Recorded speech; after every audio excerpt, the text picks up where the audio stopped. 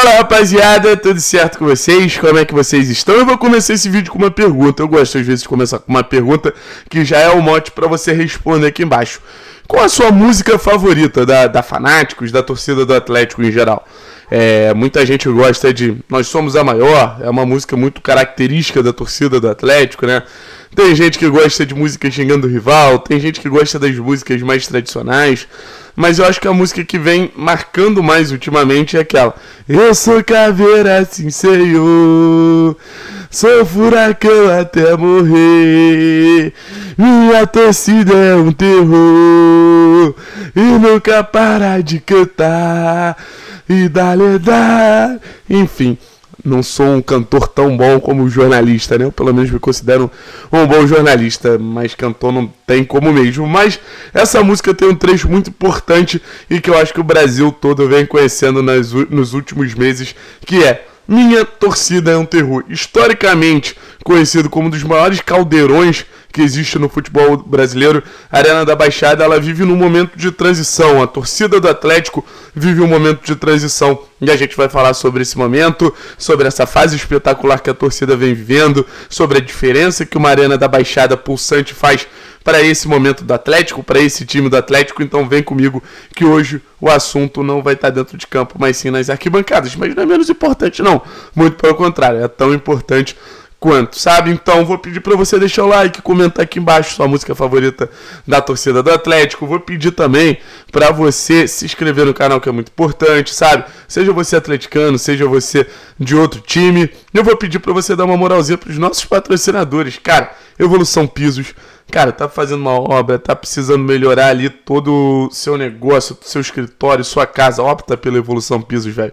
Melhor loja de pisos de todo Paraná tá atendendo todo o Paraná agora. Mandar um abraço para KTO também. A gente tem um códigozinho lá, três pontos.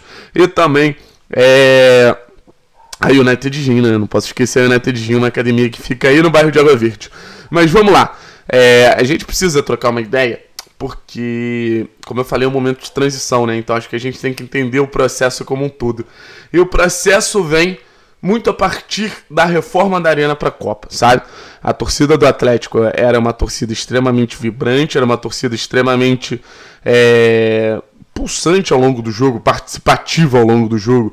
Em vários momentos a torcida do Atlético fez a diferença para grandes campanhas, 2004, 2001, 2005, sabe? Jogar na arena era algo, era uma missão muito ingrata para os adversários, tanto que grandes times do Brasil é, viveram grandes períodos sem ganhar na arena. O Flamengo tem um histórico completamente adverso na arena, o São Paulo tem um histórico completamente adverso na arena, e também já ajudou muito o Atlético em brigas para não cair ali na final da década década de 2000, sabe? 2008, 2009, 2010, assim, a, a torcida foi muito importante para dar uma força para times que não eram tão bons.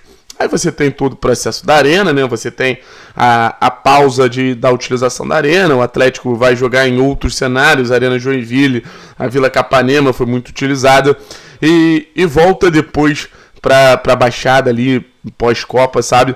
E, e vários relatos assim que a torcida não volta da maneira que era antes. O estádio não era mais o mesmo, a, a torcida naturalmente sente, existe um processo muito grande de elitização por parte da diretoria do Atlético. São ingressos muito, muito, muito caros, sabe? É um sócio torcedor que eu não acho tão caro assim, mas não é acessível para todo mundo. Até levando em consideração a maneira que é cobrado esse sócio torcedor, você precisa ter ali 5, 6, 7 meses de, de possibilidade de estar tá adiantando esse pagamento no cartão de crédito, então não é todo mundo que pode, sabe? Então a torcida do Atlético deu uma murchada nas últimas temporadas, assim, dá pra, dá perceber isso, mas sempre fazendo festas muito bonitas, tentando contornar todo o contexto, né? Puta, o estádio é, é, diferente, elitizou, o ingresso tá caro, mas mesmo assim a torcida do Atlético sempre se mostrava muito presente, principalmente em campanhas de destaque. No Campeonato Brasileiro de 2016 foi muito relevante. A gente via é, 18, 19 é, foram campanhas assim que a torcida se fez muito presente, o fator da arena da Baixada se fez muito presente, né? Só que agora, velho, de da final da Copa do Brasil para frente, eu tô vendo uma arena da Baixada mais fazendo mais a diferença, mano. Eu, eu quero achar o termo melhor assim para utilizar, mas mais foda, mais sinistra. A torcida do Atlético vem sendo um terror assim. Muita gente fala que a mudança de setor da, da torcida fanáticos ajuda bastante, que é um setor que a torcida tá, tá reconhecidamente no seu lugar, né? Um lugar histórico ali que a fanáticos frequentava desde a arena passada. É uma situação também para voltar a dar uma cara daquele caldeirão que ficou marcado por temporadas belíssimas que o Atlético fez e temporadas que o estádio foi muito fluente, mas eu acho que é mais do que isso. Eu acho que é uma cultura do torcedor que, que vem entendendo o, o momento do clube e em vários momentos o clube pode nem corresponder, sabe? Eu acho impossível a gente não citar a final da Copa do Brasil. Isso já vai de contra o argumento que o pessoal fala: ah, a torcida do Atlético é mandinha. Irmão, na final da Copa do Brasil, eu fui nos dois jogos, né? A gente sai do Mineirão com uma desvantagem de 4 gols. De 4 gols, sabe? Era porra, pra ter, sei lá, metade do público que teve. Se fosse qualquer outra torcida, teria metade do público, sabe? Até um terço. Eu já vi torcidas até com vantagens menores, é, desvantagens menores na real, né? Botando hum, é, menos gente, cara. Menos gente. A torcida do Atlético. Calma aí. A torcida do Atlético na Copa do Brasil fez um negócio impressionante. Foi impressionante, mano. Eu não vi um relato de um, dois, três colegas, não. Vi relato de mais gente que acompanha futebol, que viaja estádio, que, que cara, tá ali semanalmente vendo várias e várias torcidas, que o que foi feito na final da Copa do Brasil, ninguém chegou a ver perto, não.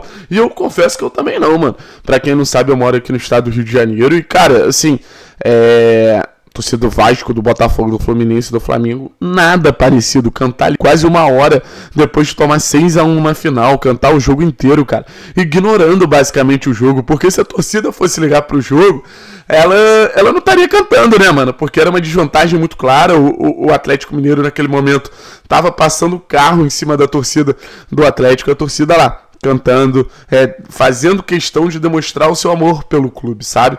Então, Acho que é um fato, acho que é um momento muito significativo. E esse jogo contra o Flamengo também é um momento muito significativo, mas de uma maneira um pouquinho diferente. Não é simplesmente demonstrar amor ao clube. É demonstrar amor ao clube, obviamente, você está cantando ali pela instituição, mas você está ali também é, criando um clima inóspito, criando um clima hostil para quem chega na arena.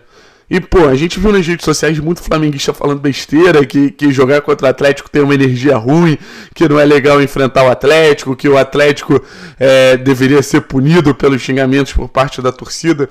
Aí eu fico pensando, irmão, você quer o quê? Você quer que a gente receba vocês bem, porra? Você quer que a gente, eh, porra, receba vocês bem? Você quer o quê? Café da manhã na cama, torcida do Flamengo? Você quer, pô, não dá, não, não dá pra entender o que passa na cabeça dos caras, velho. A arena ela precisa ter um clima hostil. A arena precisa ser desconfortável para o adversário. A arena precisa ser um fator técnico. Se os jogadores rendem menos por estar se sentindo desconfortável, irmão, bota ali um máximo de torcedores sempre possível para criar esse clima horroroso para o adversário.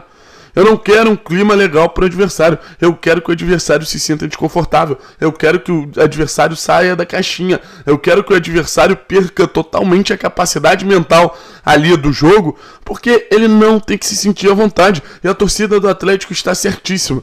Óbvio, existiram casos lamentáveis recentemente. Caso de racismo, obviamente existiu, e não significa que a torcida do Atlético é racista, sabe? Tem idiota em todo lugar. Como não significa que a torcida do Grêmio é racista, a torcida do São Paulo é racista, não, mano. Existe idiota em todo lugar. A torcida do Atlético, ela xinga, ela ofende, ela canta, ela faz questão de estar ali no ouvido do adversário, mas isso é parte do torcer, isso é parte do jogo, sabe? Repito, o que que o flamenguista, o que que o time do Flamengo quer? Ser recebido com, com flores? Pô, irmão, não vai ser. Desculpa, não vai ser. Não vai ser, sabe? Jogar na arena precisa ser insuportável, não só para o Flamengo, para todos os adversários possíveis. Jogar na arena tem que ser inóspito, não só para uma equipe, mas para 19 no Campeonato Brasileiro, para quem vier na Copa do Brasil, para quem vier na, na, na Copa Libertadores sabe? Assim como foi na remontada contra o Grêmio, assim como foi naquele jogo contra o Inter, na final da Copa do Brasil, onde a arena pulsava, sabe? Público cheio, arena pulsando contra o Flamengo naquela mesma campanha, contra o Bahia, sabe? Contra o Fluminense, contra o próprio Júnior. Muita gente fala, ah, naquele jogo a torcida não cantou tanto. Óbvio que o nível de tensão é um fator que, que é preciso botar ali no papel, pô. O torcedor tá extremamente é, pressionado, tá extremamente tenso. Ele não vai conseguir cantar o jogo inteiro, sabe? Mas a partir do momento que, que você tem ali um estádio ao seu favor, e a arena é linda, cara. A arena é um estádio maravilhoso, irmão. A partir do momento que você tem esse estádio ao seu favor, a partir do momento que você tem essa torcida pulsante, vibrante, que acaba virando um fator técnico, você começa a pensar a campanha que você pode fazer no Campeonato Brasileiro. Sabe, se o Atlético conseguir pontuar em sequência na arena no Campeonato Brasileiro, se a torcida entender que ela é um fator determinante, velho, esse Atlético nessa temporada, temporada que vem e por aí vai, ela o Atlético vai brigar por títulos graças muito à torcida. A torcida potencializa jogador, o contexto é potencializado pela torcida, sabe? A torcida pode elevar ainda mais o nível desse Atlético que é fortíssimo. E é muito legal ver a arena voltar a ser esse fator determinante. É muito legal ver a arena ser um lugar que o nego não quer ir.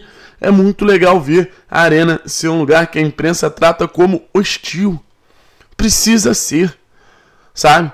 Ah, vocês não querem chamar o Atlético de Coreia do Norte? Chama o Atlético de Coreia do Norte, mas a gente vai defender de todas as maneiras a bandeira do Clube Atlético Paranaense. Quem tá no estádio, quem não pode ir no estádio, sabe? A gente precisa ser um parceiro do clube. A gente precisa estar ao lado do clube. E se estar ao lado do clube significa transformar a Arena da Baixada no inferno, eu tenho certeza que a torcida vai fazer. E o clube deveria. O, olha, preste atenção. O clube deveria incentivar mais vezes a arena tá lotada. Faz promoção, bota sócio com bene, é, tendo um beneficiário ali, né? Paga 20, 30, 40 quanto é, um sócio que não pode ir no jogo e esse cara pode mandar um convidado, sabe? Cara, ações de marketing não faltam, mas a arena é um fator decisivo, é um fator determinante. E olha que nem começou, nem começaram as competições de mata-mata de verdade. Quando começar isso aí vai ser levado a milésima potência, mano. Milésima potência, porque não tem jeito. É muito grande, é muito forte a Arena Baixada. Esquece.